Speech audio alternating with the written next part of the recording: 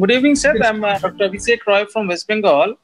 So I would like to know about the WHO role here. Can you elaborate on, on the WHO clinical trial and where India will also be participating into it?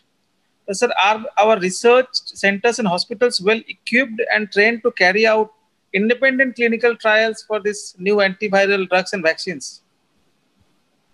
Yes, India is partnering through the Indian Council for Medical Research along with our other science agencies in the WHO clinical trials. And these involve multiple kinds of trials for drugs, for vaccines, for therapeutic procedures, for you know patient health procedures. There are a whole lot of them, and India is a very important participant there.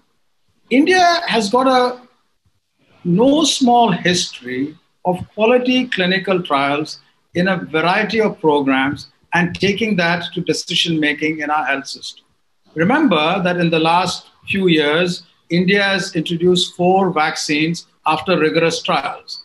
One of the most well known is the rotavirus vaccines, but other vaccines developed in other contexts have been tried and tested, evaluated, and used. We have the health ministry has got a layered program of trial evaluation. The um, drug controller's office has a clinical trials trials.gov site regulatory standards are well met. So all those are in place. So India should be very proud of that system, which has been used again and again in the past. And we can and will use that now.